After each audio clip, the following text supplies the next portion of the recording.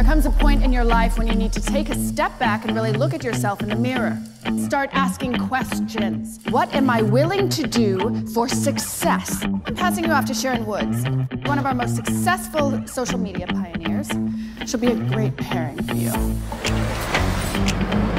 Here, Luis. Hey, Sharon. Ah, get in. You need to get to the next level. We need something bigger. This is gonna get us a million likes. Your pants better be off by the time you're at the bottom of that hill. You need to stay relevant. I saw you on Chicharo's profile. Hello. Guys, look at me. I'm a dirty puppy. Pat, pat, pat. Do it. Pat, pat, pat. There you go. It's nice. It's, it is nice.